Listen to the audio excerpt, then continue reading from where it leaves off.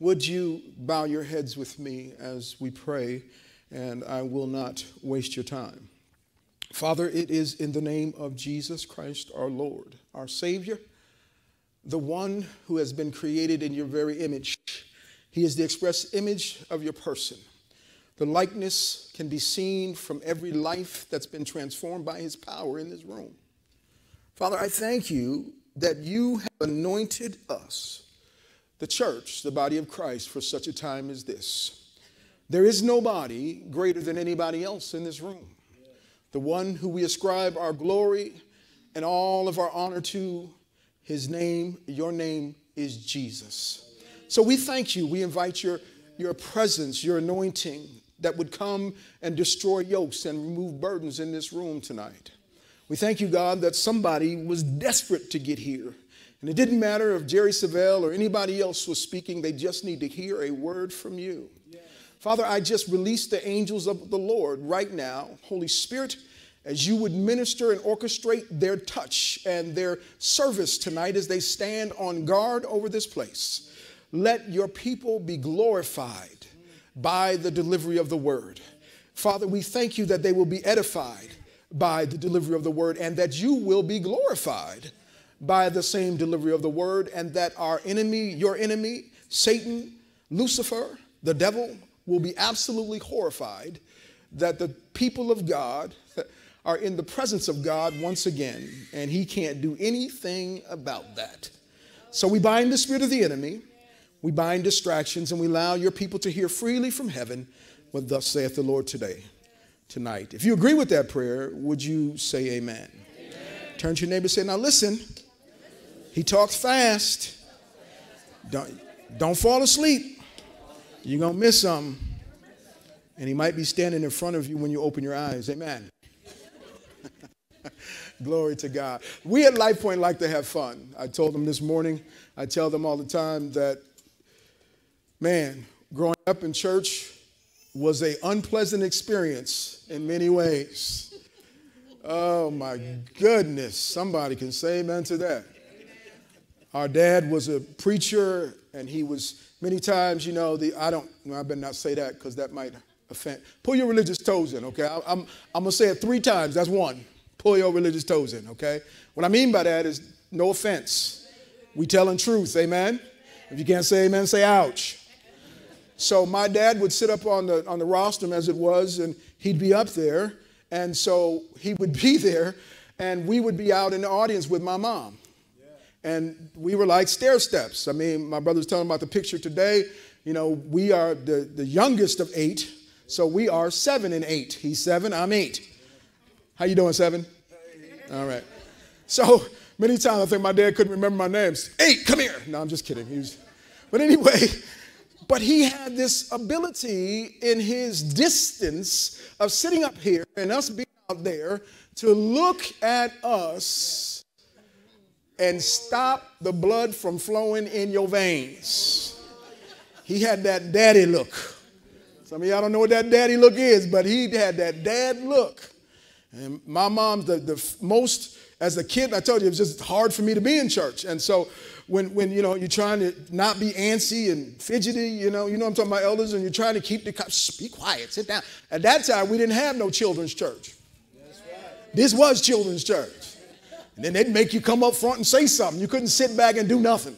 So I hated it. And so I can remember, you know, if we get in trouble enough, my mom would say, I'm going to tell your daddy. Those were the words that just stopped all movement, man. You know? She, you know, I mean, but but what I found was that the message, and as I began to grow up and began to become, you know, as an adolescent, I began to realize that the words that they were telling were truth. Because it was coming out of the Bible.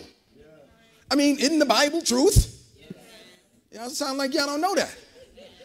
This thing right here, what I think there's, listen, I think there's 66 books in there, something like that. I've heard it. I, you, right? Last time we checked, there's 66. We didn't take any out, did we?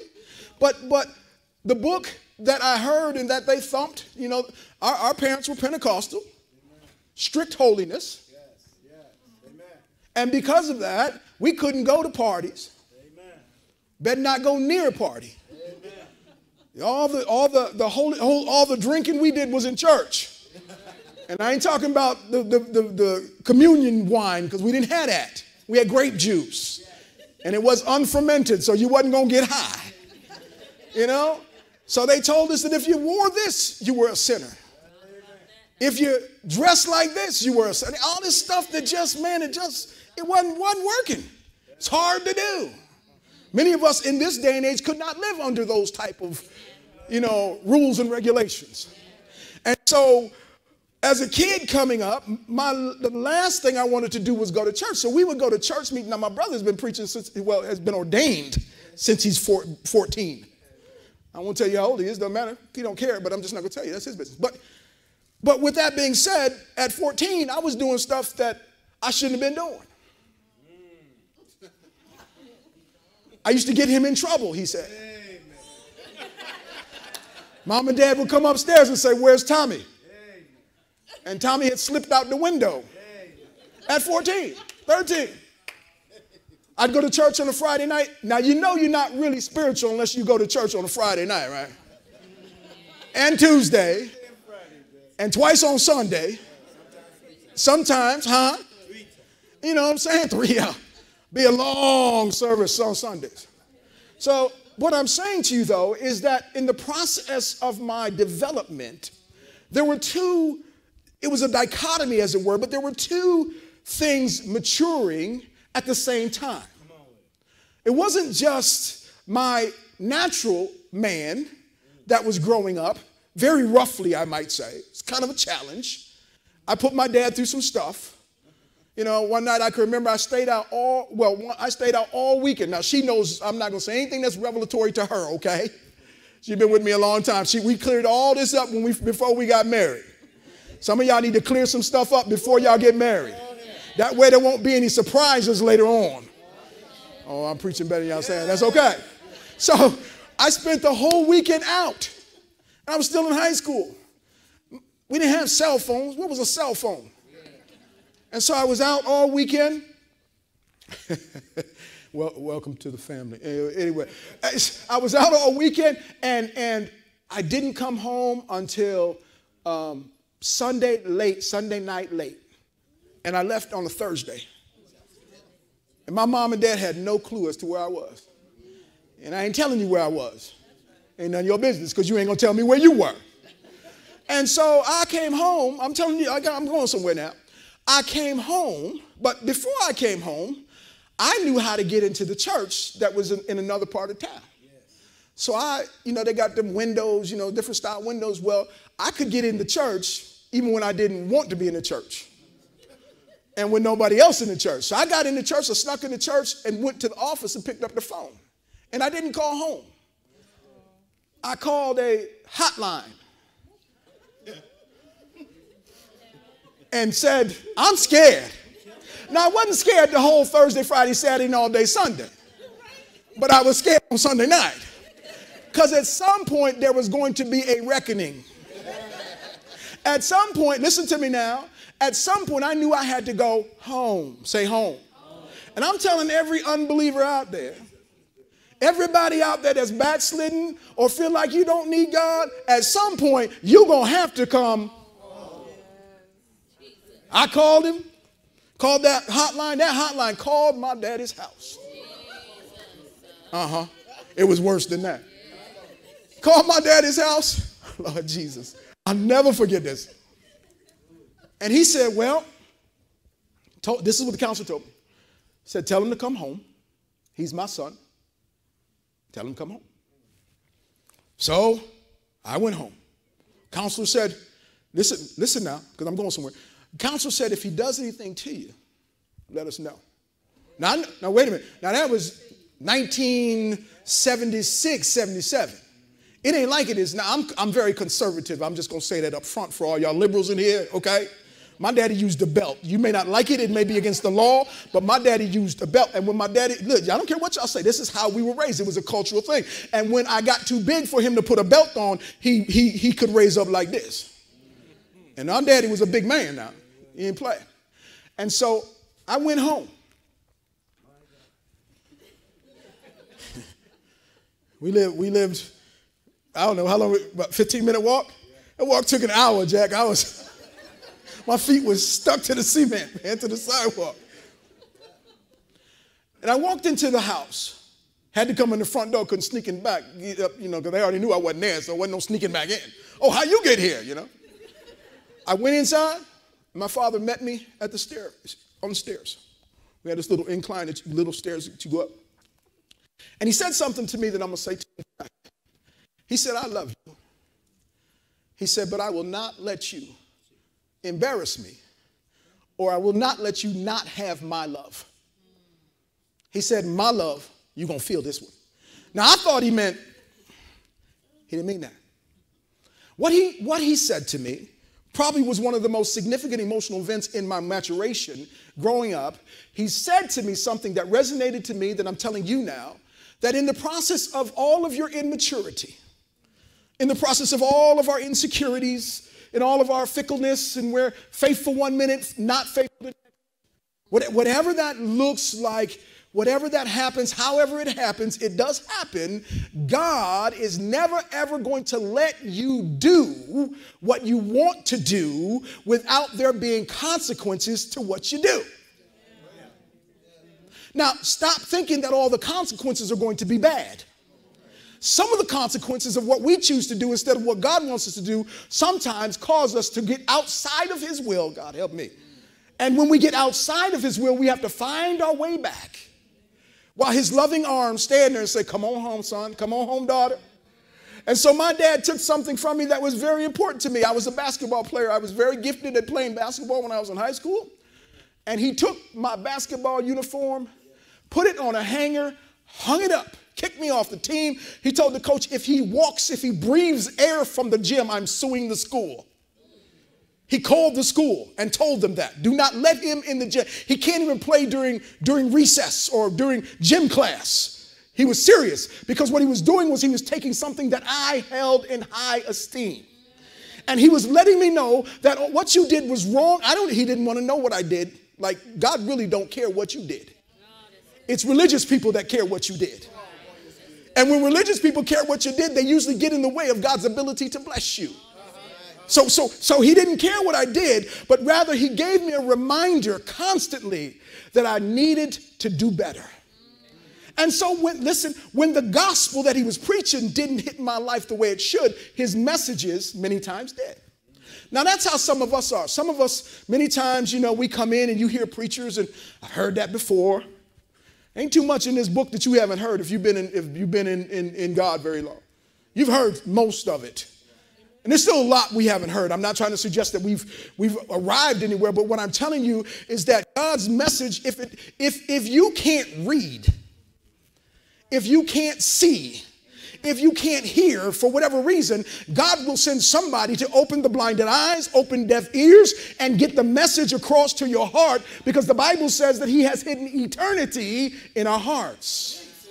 So we are without excuse when it comes time for God to say, Listen, I choose you. And if we're out of position because we've been disobedient, it's time for us to get back in position and just come on home. Say, Come on home. So I'm going to invite you tonight to, to go with me to the scripture, and I won't be in front of you very long. This is what the Lord laid on me. And I got to tell you, it's kind of hard to preach behind this man for one. He and I have never preached together in the same, say in the same setting. Never, never done. First time in, in my 27 years of ministry and his 40 plus.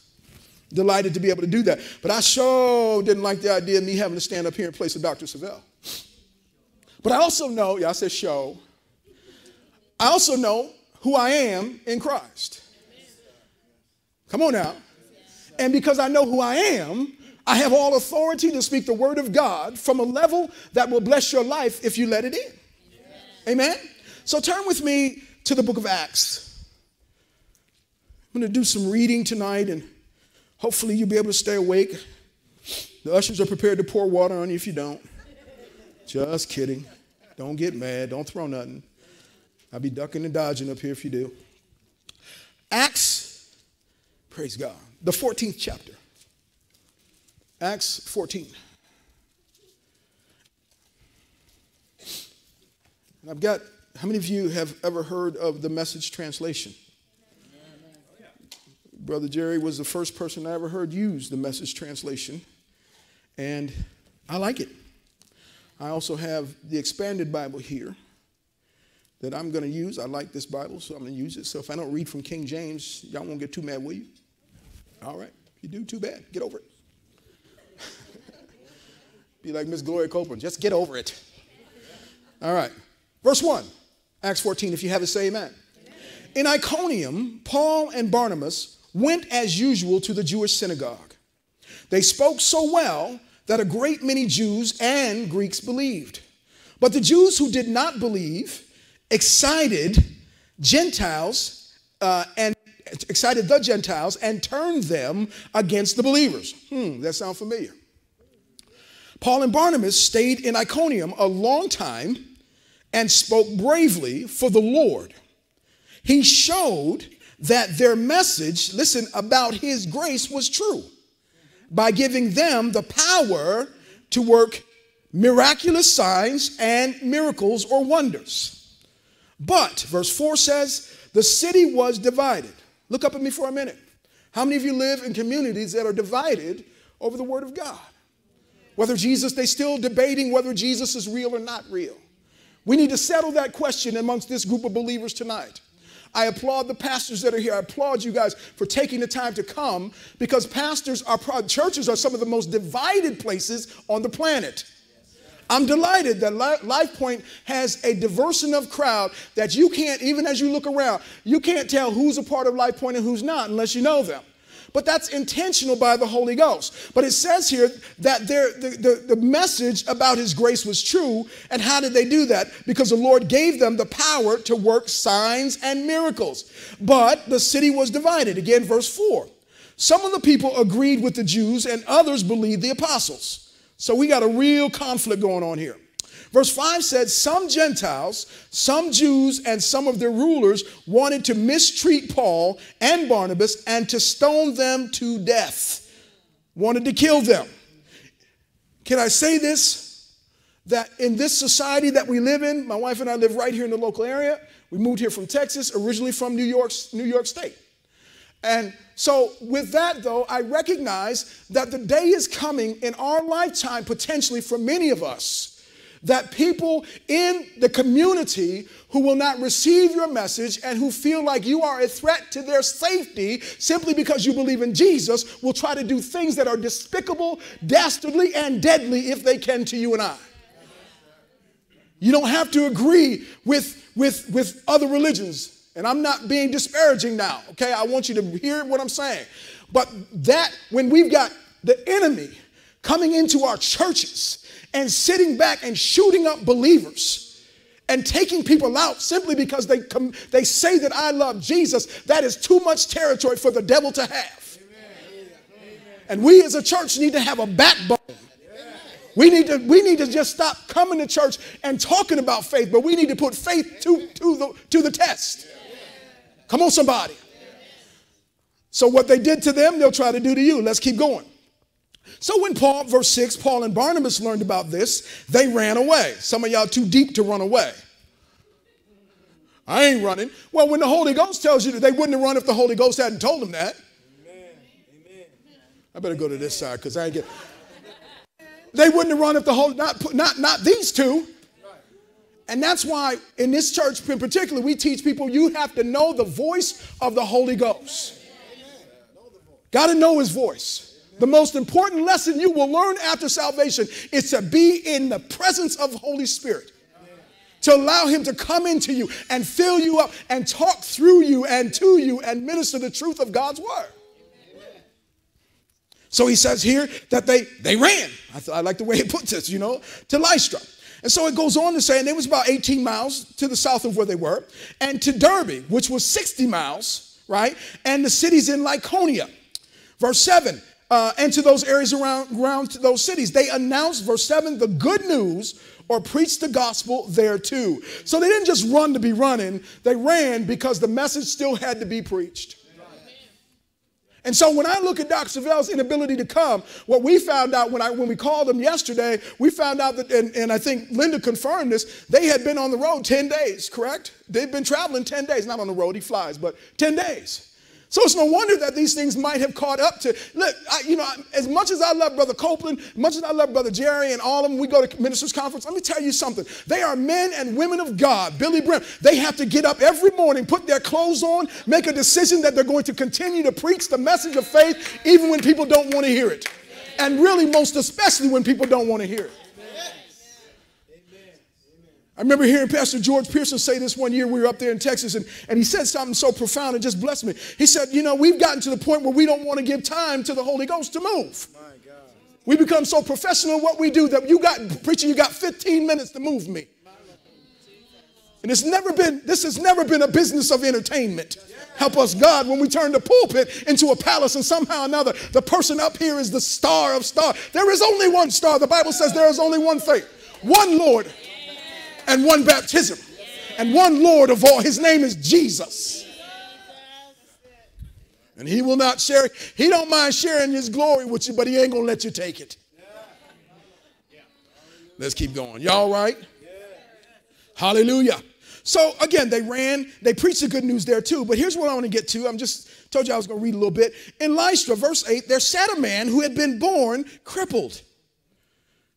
It says, from the womb of his mother. He had never walked. Now, listen to this. He had never walked. As this man was listening, I circled that in my Bible, listening to Paul speak, Paul looked straight at him and saw that he believed. Why is it that in today's church we think we can't see faith on somebody?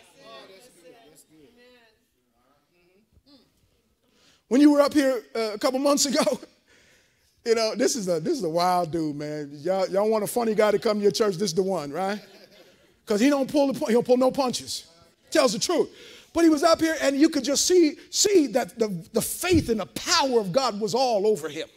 When he preached this morning, he was he was kind of he was kind of reserved for how he normally is, but he was giving his testimony along with giving the word. But I'm gonna tell you something: we should be able to see faith on one another. We shouldn't be the people that go, people come to, they need us. They come to knock on these pastors. I know, I know, I ain't been pastor probably nowhere near as long. Y'all been pastor nine years, but I know, my God, I sat next to this man for so long, sat next to Brother Jerry for a while. I thought pastoring was something different than it is. Pastor is one of the hardest jobs on the planet. No, no offense to the apostles, prophets, teachers, huh, and evangelists. But in this society, people have gotten more information from YouTube and Facebook than they have from the Word of God. And you come to a meeting like this, ain't nothing but power in this. I feel I can sense the presence of God right now. And you come into a place that has been prepared. I don't care if it's a hotel, long as we here, it belongs to God. When we walk on the grounds, we speak faith. People come and they're, they're, they're bowed over with sin and sickness and disease, and we want to sit away from them. Want to move down a little bit. Uh, excuse me. Come on now. We got to recognize that this power, this same power that was resident on Paul and Barnabas, I'm going to show you in a minute. These, for these people thought they were gods. And they were just men and women, in this case, men anointed to do the work of God. Come on, say amen to that if you believe it. So he says here, the man cried out. Paul cried out. So he cried out and said with a loud voice, Stand up on your feet. The Bible, my Bible doesn't say that the man kind of took his time, you know getting up because his, his, his joints was too bad. This lets us know his joints weren't working at all. When Paul walked up to him, he had no function in his feet. He was that way from his mother's womb. And we can't even get people like that in the door anymore because our churches have no power to heal. Look, they, they wonder, she don't, because she know. You wonder why. I Look, I, I, I love, just like I love him, I love Dr. Savelle. But I, I, I've seen Dr. Some very weak moments. And that's between him and God and me for what I saw. You got to learn that lesson. Because they're just men and women. You're waiting for your favorite preacher to come to town and lay hands on you when you got somebody who should be living in your house, your husband, your wife, your child, somebody. Somebody should be able to come to you and look you square in the face and say, Be healed in the name of Jesus. Somebody. And our churches have become impotent and weak because we have sat back in the cut, as it were, just waiting for somebody to make me feel good. Play my worship song. Play my, we're playing songs for Jesus, baby, not you. People come into the church and somebody agreeing with their sickness. Well, you know God don't heal everybody. What Bible you reading? I look at this woman of faith. Gave me a testimony this morning. I ain't gonna put you on the spot. It's too late, did it? Went back, healed of cancer. Minute. Had to, had to go get another mammogram, completely clear. Now, that ain't the best part. You know how she had to do it? She had to leave the old dead, dry church she was a part of. I've had, we've had God, we've had God send people here who have been filled with cancer. Not all of them have been delivered, but we've certainly done our best to get them that way. You got to get people out of unbelief before you can get them into faith. Are y'all all right? I get excited, so y'all have to, you can just take it. Anyway, glory to God. So it says the man jumped up and began walking around. He wasn't just satisfied. To, see, see, this is how a lot of us get. Now, now, now, you, okay, this is number two. Pull your religious toes in. I got one more. Somebody help me out. Don't let me go beyond. We, we, we've gotten so, so content just to have a healing line and have somebody else lay their hands on us. And I'm not knocking it because I do that. I do do that. But I've come to understand something about God. And it has absolutely set me free. I was sitting in the service back in 2003 in the back of Heritage of Faith Christian Center, and there was a gentleman by the name of Jerry Savelle preaching a message that made me mad. I mean, I mean, it lit my fire, and not in a good way.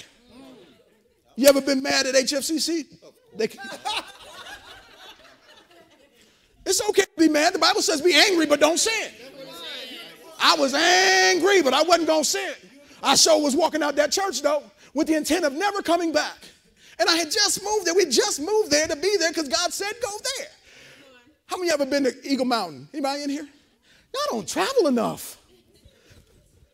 We, we wanted to go to Eagle Mountain on, on, the, on the grounds of KCM. We wanted to be a part of that ministry. God said, I want you there at, at Heritage of Faith. I drove up on the grounds of Heritage of Faith, ran and wasn't impressed, which should have been the first sign. Because why did I need to be impressed? Help me, God. So, so, so he was he was preaching that day, and he was preaching the, the faith series. Um, I, I, I, remember the message. Uh, huh? Freedom, freedom series. Thank you. She was there too. She didn't leave. When I got up to leave, she sat down. She like, I done, we done played this record before. We're not going back to this chapter of our lives when we're gonna leave God. We did that for a long time. So, so Man, I tell you what, he was preaching, good preaching too. Now I got I got the series upstairs in my library in my house. And the, and the series was on freedom from religion.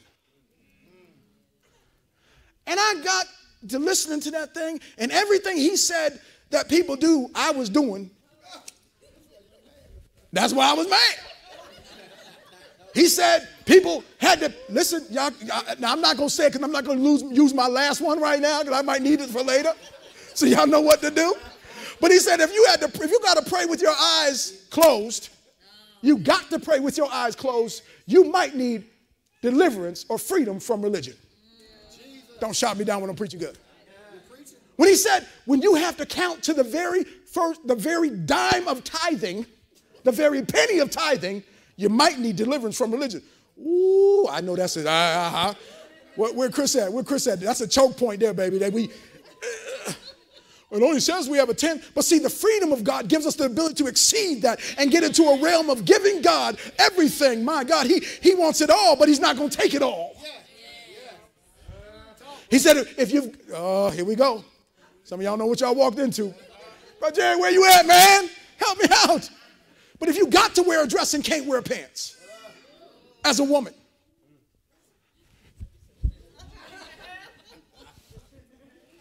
If a man, if a, if a preacher has got to wear, got to wear, got to wear a shirt and tie or a turned around collar, you might need deliverance from. Well, I was doing all that except the dress part. I got up to get out there at church because I was fuming, man. And I got to, if you ever been to Heritage of Faith, it's got a small foyer, not, not very big.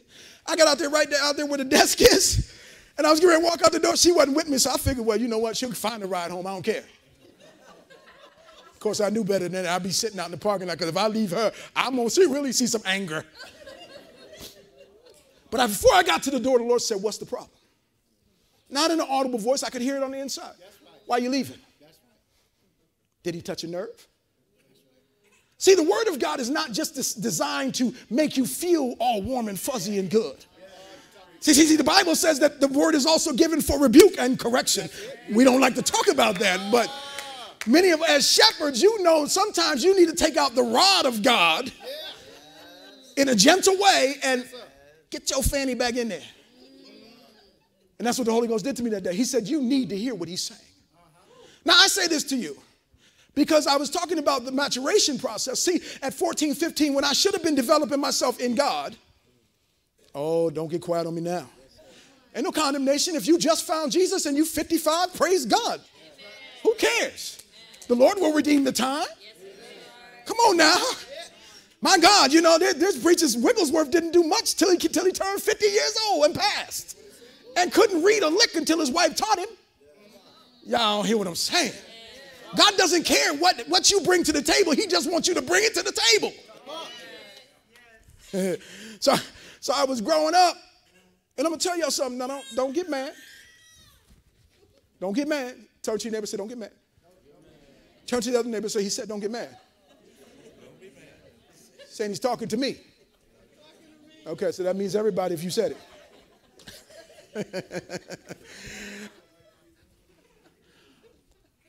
And growing up, as God was raising me up as a young man, He had me in a great family. I had a great family. We had a great family.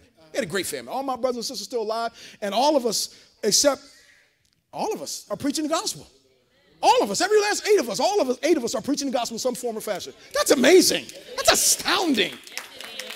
Nobody's turned their back on God. Everybody stayed there.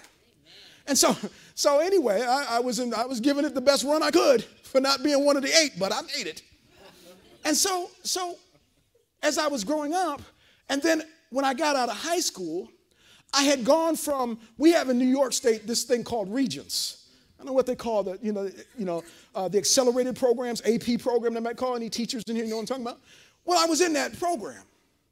I was on track to go to any college. My brother went to Wake Forest, you know, and I had offers from various schools to come play basketball. And I had squandered it so badly that by the time it came time for me to get out of high school, I had to go to summer school just to graduate. Now, I wasn't nobody's dummy, but I was lazy, undisciplined, amoral, immoral, selfish, full of Tommy Roberts with the capital T and the O M M Y all in caps. Like y'all know some of those people y'all used to be. I said you used to be. You're not that way anymore. But it was all about me, even at a young age. And I told my wife this. She knows I, I, I don't lie. I ain't trying to lie to you. I got no reason to lie to you because I'm going to heaven. Because all liars don't go to they don't go to heaven. Not unless they repent. Anyway. And so uh, I told my wife, I said, you know, it, it's probably a good thing that I did not get a PhD. Especially without God. Because I would not be standing here tonight I would be doing whatever I wanted to do because my life was all about me. And I applaud again every servant, man or woman of God in here who have given your life over to the Lord to do his work, do his will, because I know how tough you have it. And your people will never know, so stop expecting them to know. When you get up to preach and you're feeling the weight of the ministry, you get up there and you've had a rough day and things have not gone your way, God expects you to get up. I heard Bill Winston say this. He said, You come in the building looking like a general of the faith. He said, You stand with your, your Mark Barkley. Boy, that's, that's a bad boy there. He said, You come, you stand erect. You are the messenger of God. You give it to them whether they want to hear it, in season, out of season. You make sure that what you stand and tell them is straight from the throne of God. And as a leader, many times it's just not easy. People have unrealistic expectations. And I had one of my father. That's why I'm saying all that. He preached his heart out, man. He preached as long as he could, trying to reach people like me and couldn't even reach somebody. Many times we get out here and we do this message and we do this thing, and people in our own house aren't serving the Lord. People look at you, well, you know, if your own people, your own family ain't serving the Lord, uh, doesn't it say who desires the office of bishop must have his own house in order? Well, I ain't asked for all that. And my dad didn't ask for all that. So one day, one day, as I was growing up, kind of like this, I got to a place where I couldn't take the infancy, listen to me, the infancy of my soul any longer. Many people are out there and their souls are underdeveloped. Their spirit has the potential to be a giant. But without God, it's weak. If you could see the inside, a dead spirit is just that. There's no life there other than that which simply comes from being a human being. That's what di- differentiates us from the animals. So as a as a, a person who does not have Jesus, and I'm listen to me, y'all might not like it, but I'm gonna say it. You have the you are the one responsible for the development of your own soul, not God. He's taking care of the spirit part.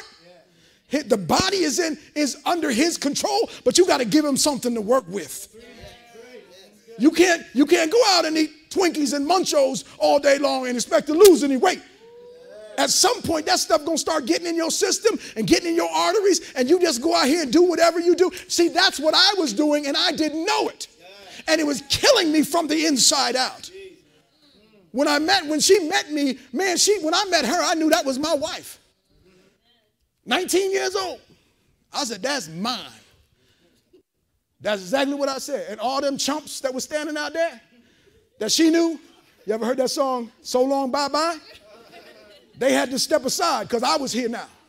But what, listen, what she thought, she, God what she thought she had, she did not have because she didn't know that I was really an infant on the inside. And no matter how well developed my mind was, my spirit was not in, in, in any way, shape, or form strong enough to pull my soul up because there was nothing there. You do know what your soul is. What? You, what is your soul? Your mind, will, and emotions. And the body of Christ suffers from weak souls. You come up, I know his church, I ain't even gonna go there because I know him, I know his wife Kay, and I know the way he teaches. I know what he teaches. I've been around him for two days. I know how he, I can, I just know it all. He over here calling up, growing out legs and limbs and binding the spirit and input. Come on, somebody. But let me tell you something. You better latch on to that kind of thing because without it, yes, yes, yes. So when I married her, I was looking all good. Six foot five, six foot, six feet and fine. I'm talking about me, not her. Or so I thought. Six foot two and fine is good when you 19. But when you 47 and you still having to baby that man, you still trying to carry that woman, and she ain't putting nothing in her to help you along. And I, I, don't mean no harm, but there's a lot of church folks that ain't got nothing in them. They just sitting there filling up a spot. And if you needed to lay hands on somebody, you'd be too scared because you think it's all about you. It's not about you. You are the vessel that God uses. You got to allow yourself to be filled up with His presence.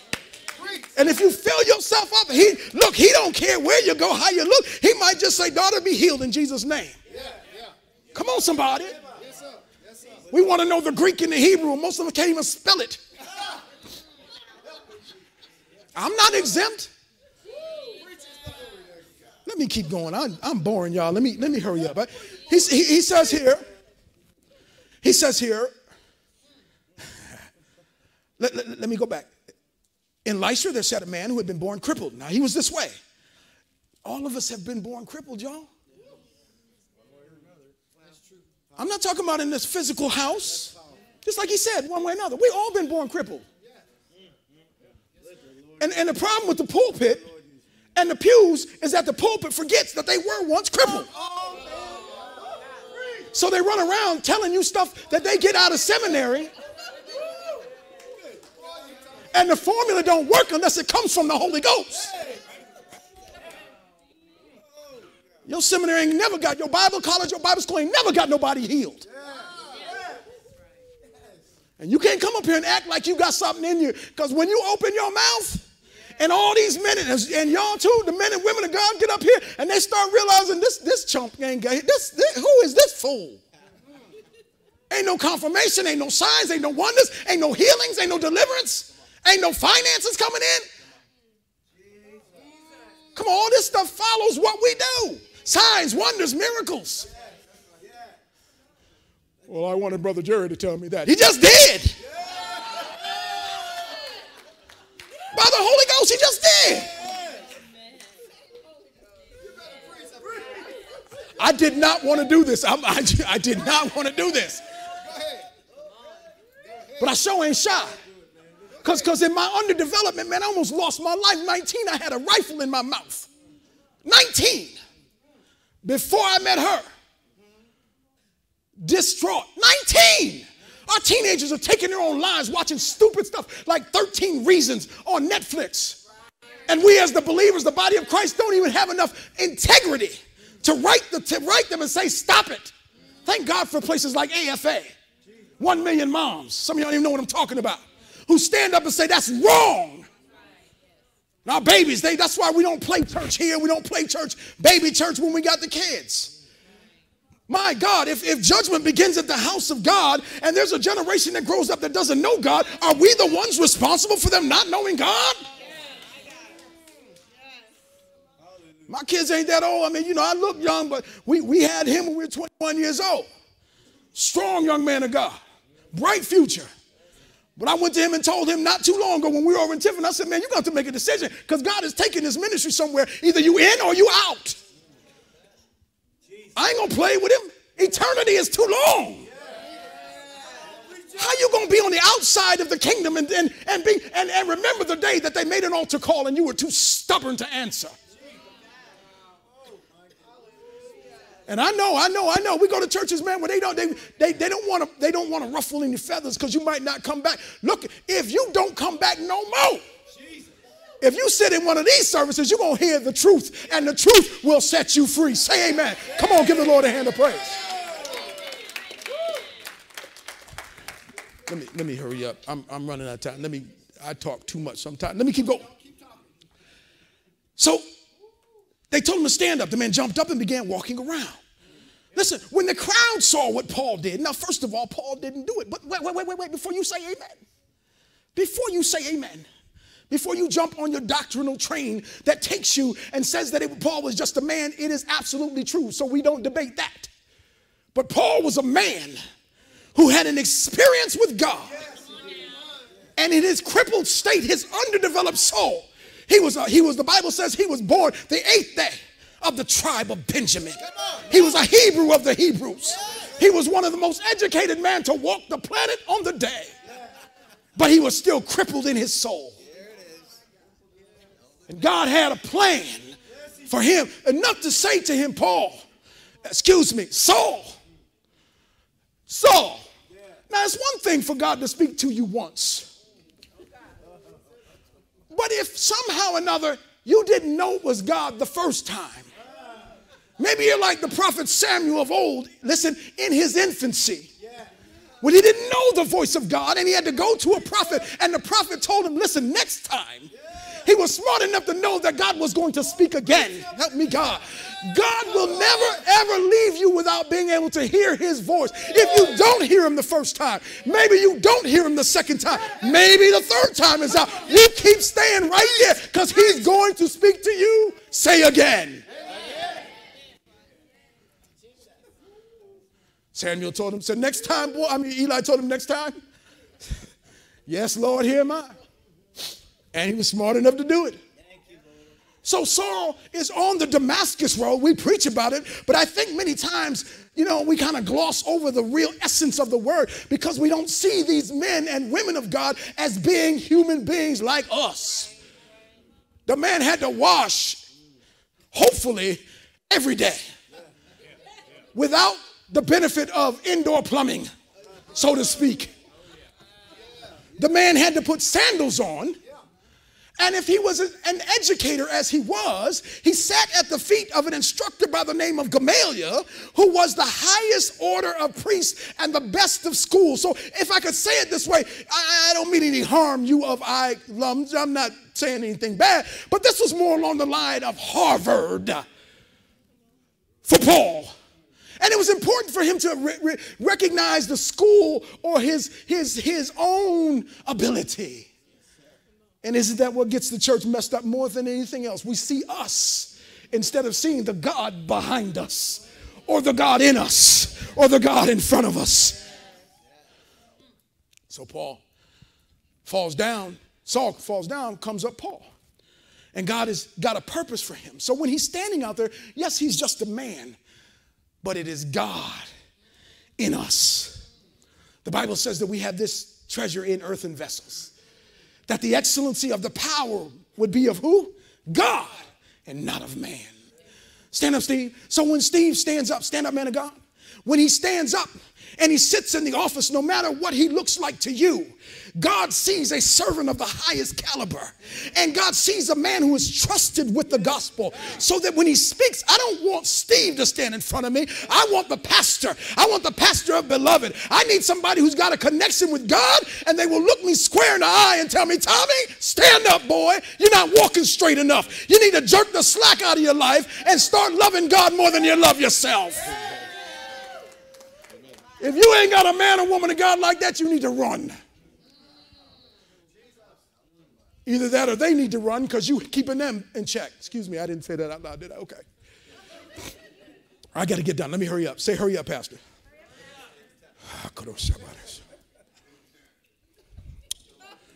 I'll take that over the rest of y'all. Amen. Here's what they said. Here's what they said, verse 11. It says, The gods the gods have become like human. You see that little G, right? It says the, the, the, gods have become like humans. In other words, when they walked into a situation that needed fixing by the power of the Holy Ghost, they were sensitive enough, not concerned the, about the, what the liberals were going to think, or the independents were going to think, or the overly conservatives, ultra conservatives who say that healing is not for today. They just simply walked in, saw a need, said, In the name of Jesus, stand up on your feet. And this man just stood up because his spirit had to respond because he heard the power of the voice of God for the first time in his life. And we wonder why our churches are so weak. It starts right here. Now it would be easy to blame you and say you don't pray enough for me or for your leaders. That's a lie. If anybody gonna pray for me, it needs to be me. That's where it starts. Now you do your share, but in my prayer for me, I'm also praying for you, and you praying for me. So, with that being said, these guys, they're so astonished at what happened, they say that the gods have become like humans or taken a human form. And this is what they say they have come down to us. They had no concept of who God really was. I'm not a fearful person, but I will tell you this by the Spirit of the Lord that there's coming a day in many cities and communities across our nation that people, when they hear or sense or get in the presence of God, they won't even know what it is. Churches are, are shriveling on the vine. Some of them are shriveling on the vine and got thousands of people in them. Full of, full of, they're like whitewashed sepulchres, Jesus would call them, Matthew 12, full of dead men's bones. Because it has become an entertainment industry. And if I don't have lions and tigers and bears on the stage, oh my.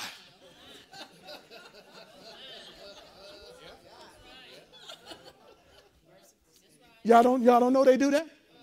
I know it just ain't in Texas. In New York, they do that. They do that. I'm sure they do it around here somewhere. Because they got to keep your attention. And you know why they have to keep your attention? Okay, I guess I got to use my last one now. Pull your religious toes in. Because in, we are so underdeveloped in our souls that we can't even stand to watch with God for one hour. Uh, listen, listen, listen. There's a, listen. There's a difference in being in the house and being attentive to the house. When I'm at home, when I'm at home, listen, you know that you know I'm telling the truth. When I'm at home, and it's just me and my wife, we're empty nesters, okay? I know when somebody's in my house. And and I also I had I had an odd thing happen to me the other day, but I know I know I know what happened. But I had my, my bedroom door open, and my dog, he just a little guy, He's just a little floofy dog, got a big floofy white tail, you know. I walk around the neighborhood, big tall black guy with a little floofy dog. People say, oh, he's so sweet. I'm like, you got teeth too, just be, be, be, aware. Okay, no, he don't bite. He don't bite, I'm just kidding. And, and so, so anyway, so, so the dog was laying in his bed. I was sitting on the bed, and she was in her office, and I knew where she was. And I sensed somebody walking up the stairs. I just kind of sensed it. I didn't see it. But then, you know how I knew it? Because both he, the dog, and I both looked up at the same time. I know what's going on in my house. Many of us don't know what's going on in our own houses. And I'm not talking about that big palatial place you have, those 33 acres with the pool and the pond. You know, I'm describing my place one day, but I'm just saying, you know, whatever yours is, because my, my house gonna have water on it. because I am a catcher. I go catching. Do we have any fishermen or fisherwomen in the house? Raise your fishing hands. Y'all doing it wrong. You're supposed to be catching. You'll get it later. Anyway, but many of us don't know what's going on in this house. Right. We don't know what has creeped on board and brought contaminants and pollutants with it because we watch pornography or we open ourselves up to illicit movies. They got this, this, this, this, look, I ain't knocking TV. So did I use my last one? I didn't use it yet. I didn't, I said I was going to. I didn't. Okay, thank you. I, am trusting y'all to be right. Okay. Anyway, anyway, they got this movie, and I'm not. I'm, I'm, gonna be careful here because I'm not bashing anybody. But they used to have a movie, uh, a show called America's America's Funniest Home Videos. Y'all remember that? AFV. They got a new one out. Anybody know what I'm talking about? See, because I watch the news. I don't watch the news for good news. I watch the news to stay informed so I can stand up here and tell y'all what's really going on out there. And this movie is called uh, uh, um, America After Dark or something like that. Keep your kids away from it. And I'm gonna tell you something else. You need to keep your eyes off it too. Oh, I better hurry up because. It, it, it, see, see what, what happens is we are, we are now becoming desensitized and, and Paul and Paul and Barnabas were they were locked in, they were zoned in on God. They weren't allowing themselves to be distracted because they knew what was in their house. They took inventory. Say, take inventory. Ooh, and when they were ready to get, get this man, Jesus was ready to get, uh, the Holy Ghost was ready to get this man delivered, they were up for the task. Let me finish up so I can get out of your way. Then the people began, verse 12, to call Barnabas Zeus, or the main god of the Greek pantheon, and Paul Hermes he was the Greek god who delivered messages. Some of y'all know this. Because he was the main speaker. They thought Paul was Hermes, okay? Verse 13 says, The priest in the temple of Zeus, which was nearby, listen to me now, nearby the city, brought some bulls and flowers and wreaths to the gates. Why did he do this? Because he and the people wanted to offer a sacrifice to Paul and Barnabas. The symbolism here of the church, not every church, not y'all that's in here, not these men of God, women of God, I know that, and, and y'all. But the, this, this thing has gotten twisted somehow, where now all of a sudden the main attraction is the pastor, is, is, the, is the evangelist. Oh, help me, God, I got to be careful here. It, it is the praise and worship leader or all of the instruments. That, that's the main attraction. And somehow or another, we cannot draw a crowd to prayer. And when the, when the service is going on, we want the main attraction to give it to us. Give it to us, feed us. But see, I'm not here to feed you as much as you are required to feed yourself. I only get you one hour a week, Robin. Well, maybe hour and a half, but you know what I'm saying. Some of y'all get that later. But what are you doing the rest of the week? What are you doing in the time that it really matters? They used to tell us at Heritage of Faith at JSMI, they used to say that, that, that preparation time is never wasted time. Don't you want to be used by God? You got to get ready. Tell your neighbor, get ready. So they ran in among the people shouting. Paul and Barnabas heard about it. They tore their clothes, they ripped them off. They ran in among the people shouting, Friends, why are you doing these things? We are only human beings. Like you, we are bringing you the good news and are telling you turn away from these worthless things and turn to the living God. That's the same thing Paul preached over in Galatians 4 8. He says, He is the one who made the sky, the earth, the sea, and everything in them. We know that about God. Amen. So he goes on. Let me skip down a little bit. Oh, Jesus. You can read it for yourself, though. In 19, we see that some Jews opposed them, that had opposed them in Iconium, had now made their way to where they were preaching. And they brought division. And I'm going to tell you, say this to everybody so you all can hear it. There are many, there are many perpetrators in the body of Christ. They look the part. They even know the lingo. If the Bible says that Satan can, can even transform himself into an angel of light, don't you think for one minute that you can't be fooled by people that come in saying they want to be a part of you, but they are really sent there to bring division in the house? And if you have not paid pastors, leaders, if you have not made proper preparation of your house and taken inventory before they show up, their agenda is made easier because you have been lazy and negligent in your duty. And if your ministry falls apart, it is not God's fault.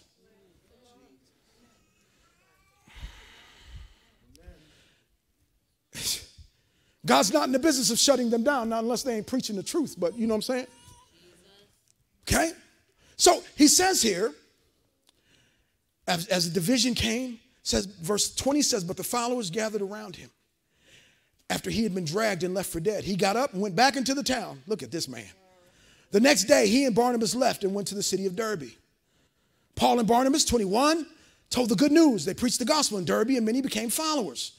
Paul and Barnabas returned to Lystra, Iconium, Antioch, making the followers of Jesus say stronger.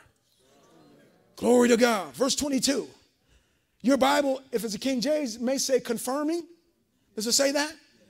Confirming the saints, the souls. And what we're called here to do tonight, why the reason why Dr. Savelle was coming, the reason why Apostle Roberts came, is to confirm and strengthen the saints. I'm gonna tell you something about great ministry. God has really blessed me in being able to be around some. And for that, I remember one time, I remember the time uh, I was uh, at, at, at, a uh, Tex, over, Thunder over Texas motorcycle rally that, that Dr. Savelle used to run consistently every year.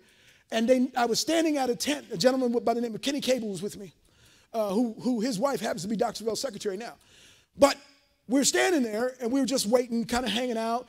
And my team was on the other side. I don't know why I was just standing there, but I was waiting. And I had to believe it was the Holy Ghost because as I'm standing there, somebody says to me, Hey, you, come here.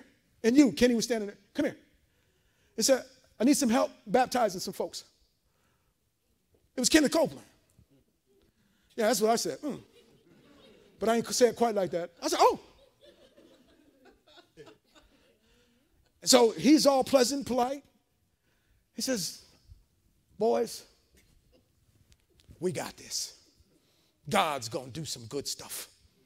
So we stood there, Kenny and I stood there, and hey, I had to make sure I was paying attention to the person, not looking at Brother Copeland because I didn't want to drown him, you know what I'm saying? but it set something, it set something, because that's the man, that, through that tape he gave me, that's how I'm here today. So to meet him in person was a great honor.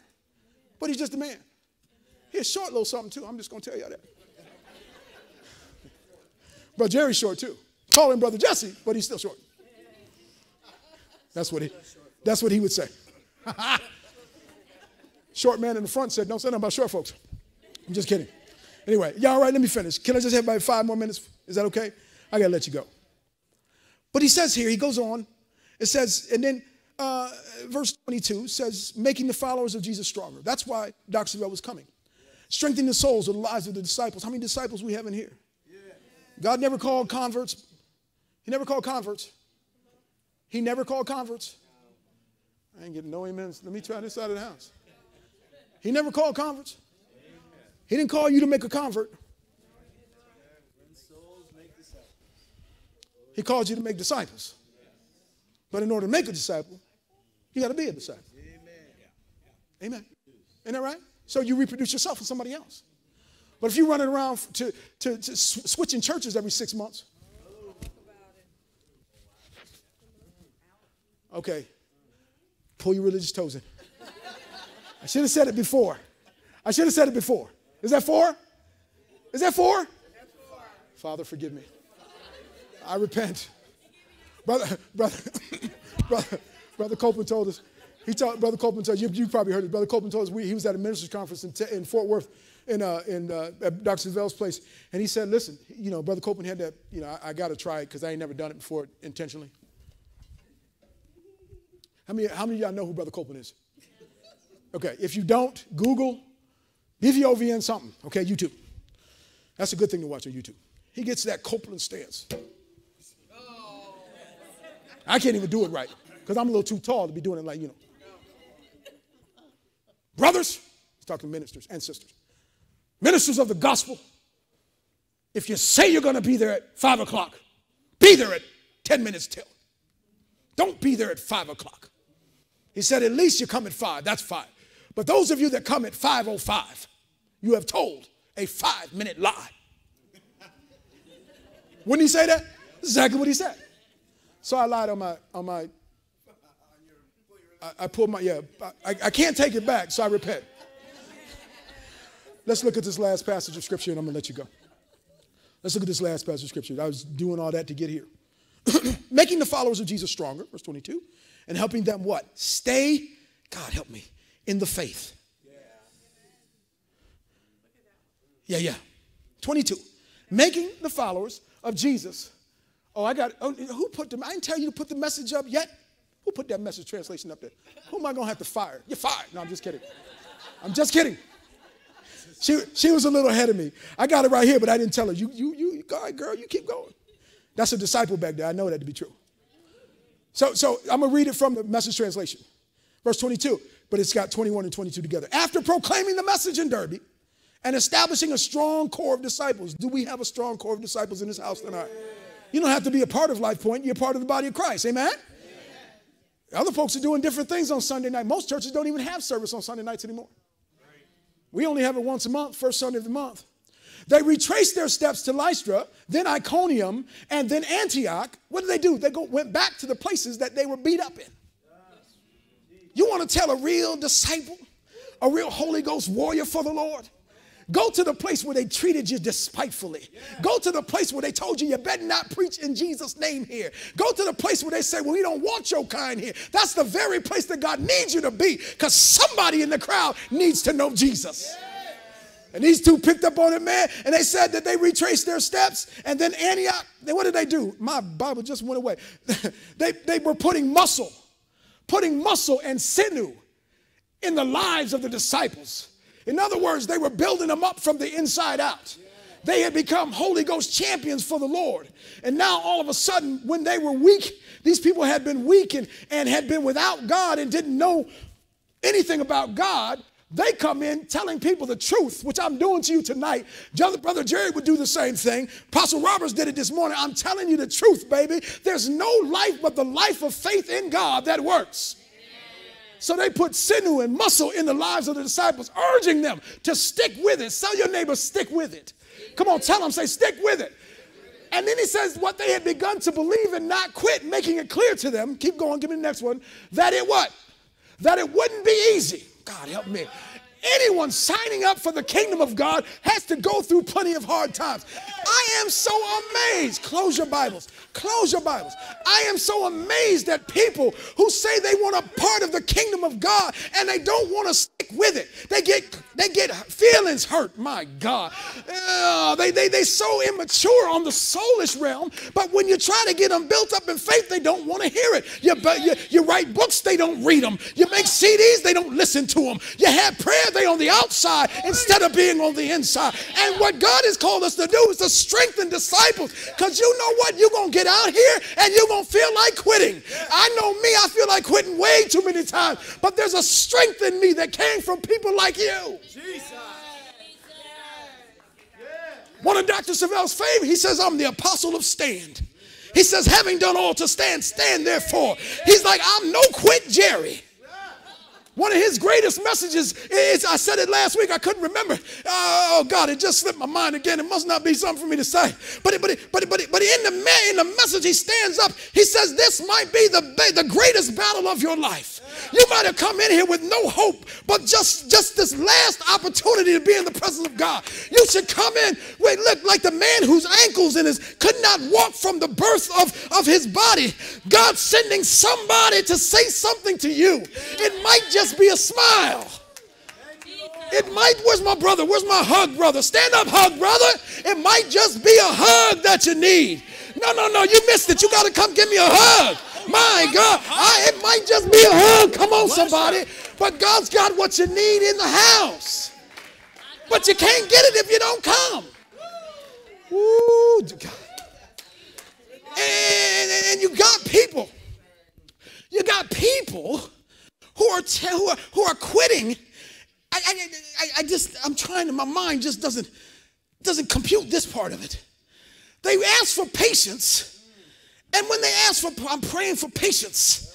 the Bible says that let patience have her perfect work in you. James 1, he, he says, listen, that the trying of your faith might be of God.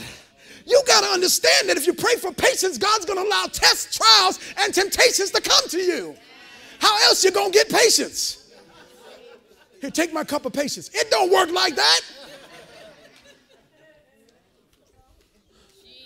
And I'm just, I'm just absolutely stymied sometimes when people say I'm a person of faith. But the moment the bill collector calls, they act like their phone don't work no more. And if you're gonna be people of faith, you gotta be people of your word. You know, it, would be bad if they call, they call and they want to talk to Tommy Roberts. I said, get the phone, honey. I don't feel like talking to him. She's like, I, see, I was about to be bad. I can't. That ain't what she'd say. If it was she and I, y'all all right. I can't, I got no more to use. I gave them all away. But she would say to me, black man, get that phone. Y'all laugh if you want to, she would. Because I'm the man of the house. Huh? I'm a faith man. And we got people proclaiming they faith giants. But the moment the Bible says that if your faith fails in the day of adversity, then it is weak.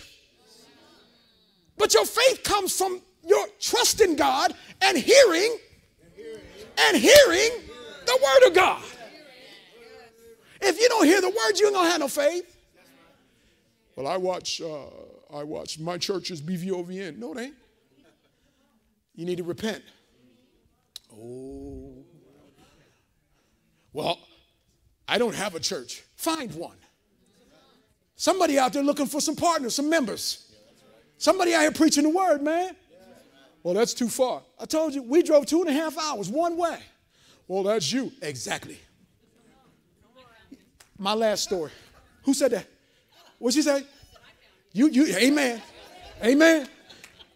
I told, I told, I told your story over here in, in, on the way to church tonight when you told me a few weeks ago, it's been a couple months ago since you started coming, and you said that you didn't have a ride to get here. What do you remember what you told me? Yeah, Tell, say it out loud. I was going to jump in my semi tractor and I was going to drive it here. Y'all hear that? You, you hear that? That's hungry. That's hungry. That's hungry. Come on, y'all, y'all, y'all, y'all, y'all let a good person, good opportunity to say amen pass you by. Last story. I could go on all night, but I'm not. Dr. Savelle tells a story. I remember this. I didn't try this part because I just wasn't there yet. You can't do everything you hear somebody else say. You got to listen to the voice of the Holy Ghost. He'll tell you what to do. I remember when, when I was I, I knew I had knew I was called to to uh, full time ministry, but I didn't have full time faith. And at the time, I just gotten out of the service, and I was I was uh, marketable, and I knew that I was going to be good for somebody's company. Problem was, didn't nobody else know it, and uh, so I couldn't find a job. Remember that big white house we lived in over there in East Spencer? We had, we had, we had 17 people, was it 17? 17 people living us. We had just gotten born again. We had 17 people living in our house. 17. Top that one. Because we love Jesus. And we thought everybody else did. Because they said they did. And I was too ignorant, too underdeveloped to know that wasn't the wisdom of God. You know what we did? It was a big house too. You remember that house? It was a big house too. I mean, it was big, best house in the neighborhood actually.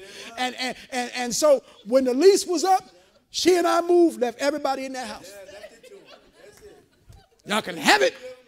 There wasn't no peace there. There was strife there. And many of us don't understand that the Bible says where there's strife, there's also confusion and every evil work. You, can, you ain't going to get nothing from God if you run around arguing with your husband, calling her every name but a child of God. Anyway, let me, uh, okay. That didn't cost you nothing, but a little more, few more minutes. So, so I got dressed with, I only had one little half pipe suit because I never wore a suit. I care about a suit for. I was in the service, man. And so I put on that little suit. And I told her, had her brother Copeland said too. He said he went in there and was going to give eight hours a day to the Lord. Bless God. I heard him. I heard him when he said it. I put that suit on. I don't even remember if I had shoes on. I probably had no shoes on at the time because I didn't own none, but I might have had some tennis shoes. It didn't matter. I went in there and got my notes and was taking notes and was watching what was on TV. One of the first times I had ever heard Joyce Meyer. Oh, help me now. Here we go. Here we go. Here we go. Joyce Meyer said that I was doing Bible studies and I was still smoking. Some of y'all would have said that disqualifies her. I ain't going to her stinky breath Bible, Bible study. But I'm going to tell y'all a little secret that all y'all little super spiritual selves need to hear. God ain't so much concerned about what you do as your motive for doing it. I'm not advocating smoking. Don't go out. My, the people that come here know I talk about this all the time. If you can show me somewhere in the Bible where it says that smoking is sin, I will underline it in my Bible and retract everything I've ever said. Well, Romans 12 says that does not say the same thing.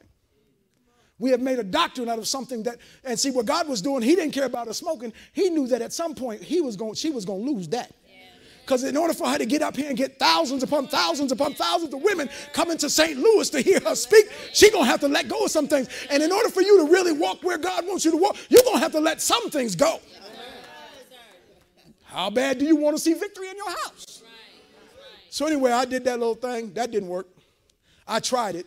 Copeland said, It tried you and won.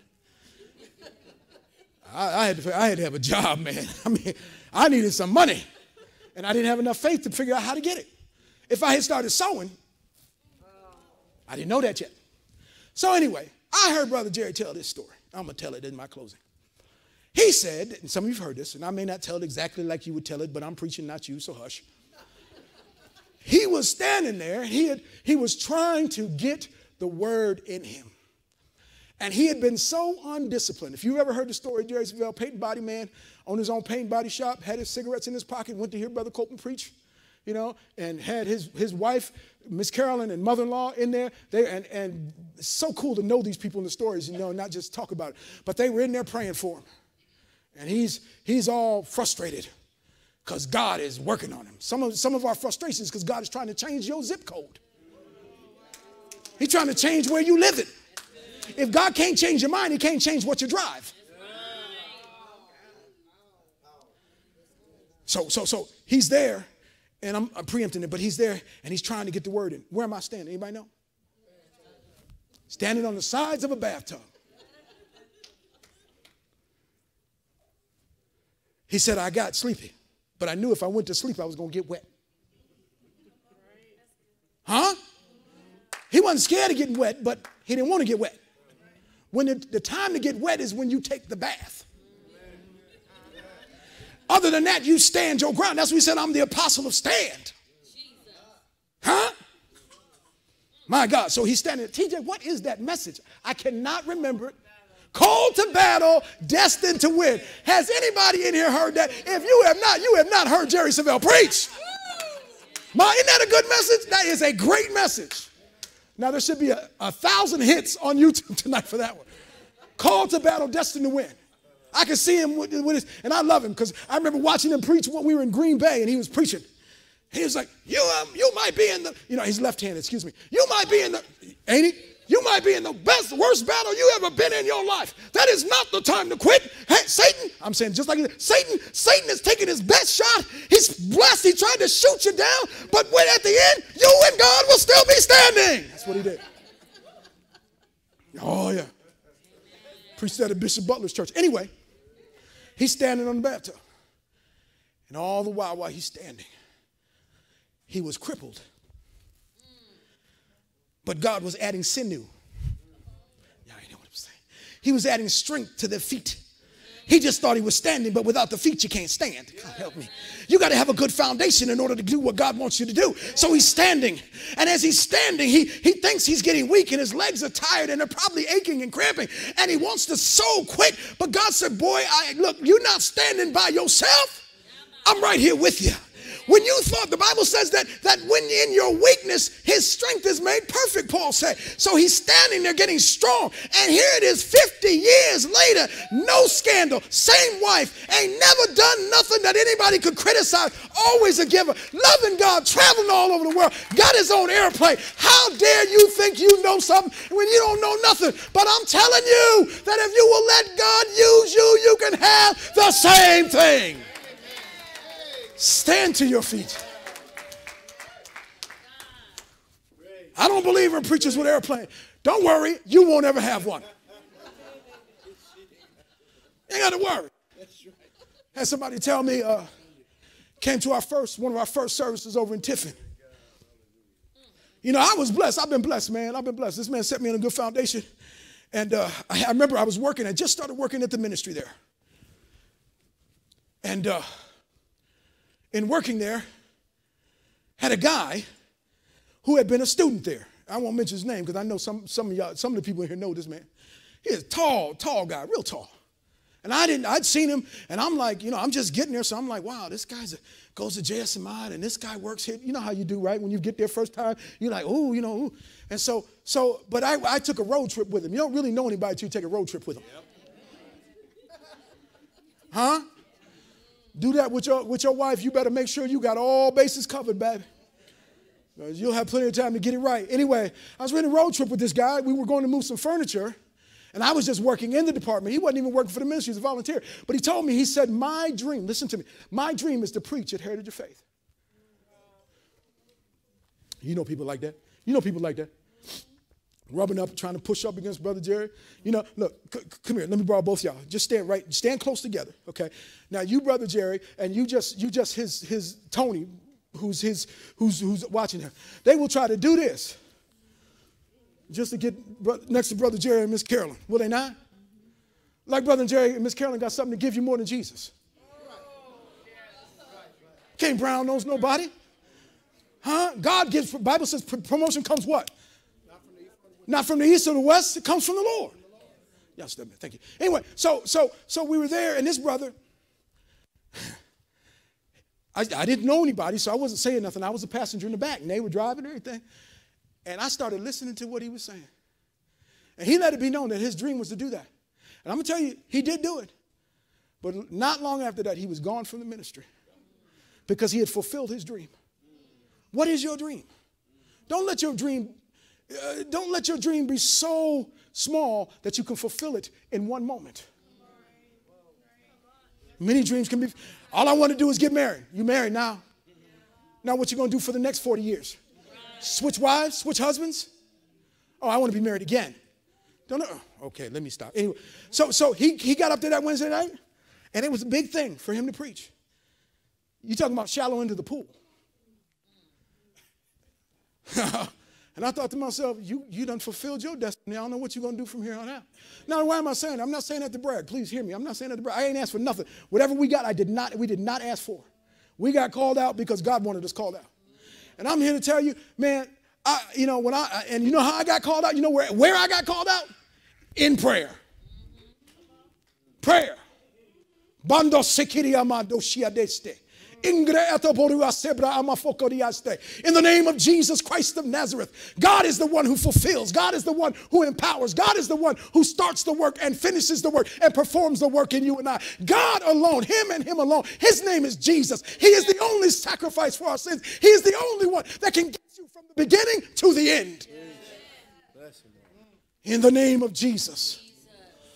I remember the first time they asked me to preach, they were going out of town, family was going out of town. They were going to Pennsylvania. And they asked me to preach.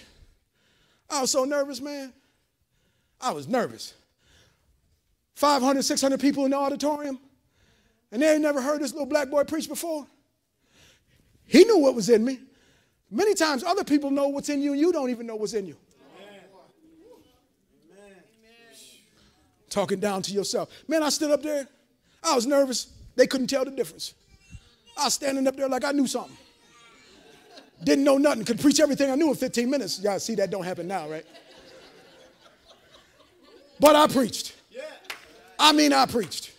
I knew, I knew that it was, it was Jerry Savelle's house.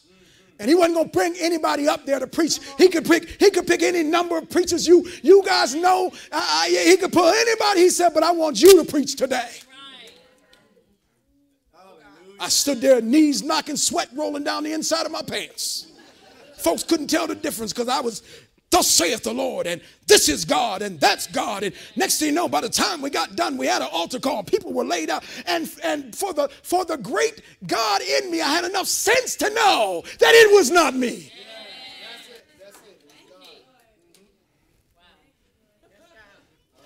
I'm going to say this because I hear the Holy Spirit say it. And it's the only time I've ever said this publicly.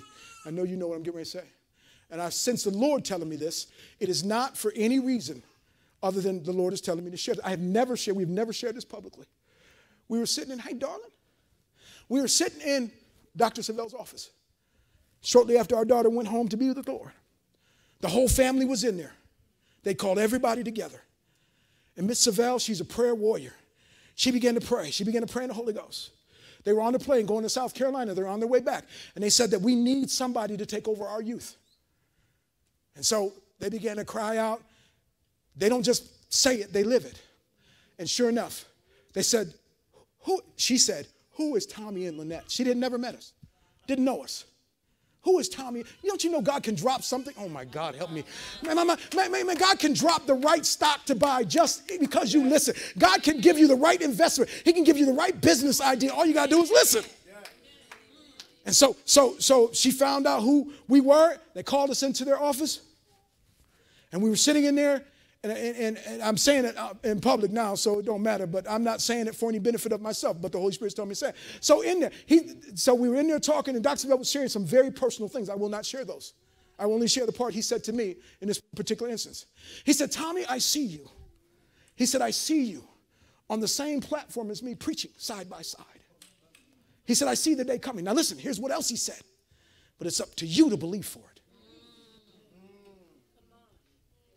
Mm-hmm. So, so, so I know this much. I would have never thought that I had to preach in his stead. But if that man called just like him, I had to go to Texas to help him. I do the same thing for him. I do the same thing for you as long as you ain't trying to con me.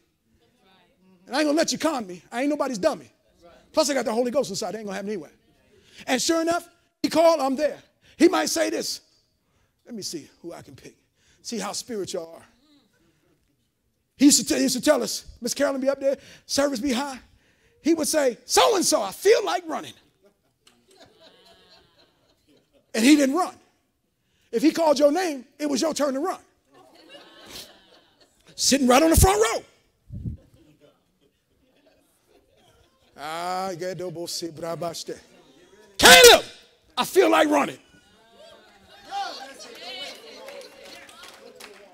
Come on now. I feel like running. Come on, somebody. Come on, somebody. Come on, somebody. Glory to God. God, now I ain't telling him to run twice. I'm just. I didn't feel like running twice. See? See? Running. Running. Hallelujah. Glory to God. Oh my God. What am I saying? Time to grow up. Grow up on the inside, y'all. I know you got more degrees than a thermometer. That's great. You got intellect that would wow the people that you stand before as a professor, as a doctor, as a teacher. All those things are good. They are great. They're good accomplishments. You are a businessman. You are wealthy. You are all these things. But are you submitted to God?